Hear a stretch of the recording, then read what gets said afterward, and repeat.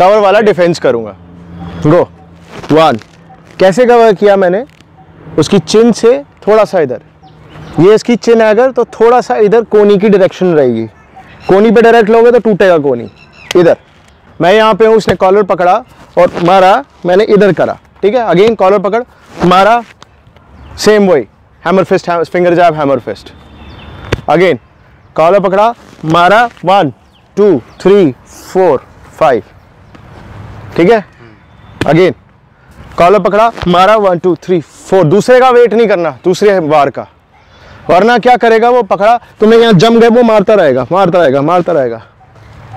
उसके दूसरे बार का वेट नहीं करना, क्योंकि उसका एक हाथ यहाँ बिज़ी है और दूसरा वहाँ है। ठीक है? सो सेम पूरा again go one two three four five six seven eight पूरा। ठीक है? दैट्स इट नेक्स्ट सिचुएशन में कैसे ये हाथ पकड़ते हैं? ठीक है?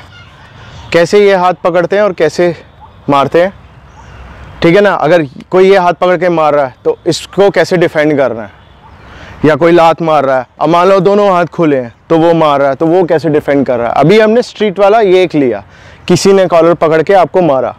एक तो स्लैप मारा और दूसरा घूसा मारा तो आपने कैसे बचना है?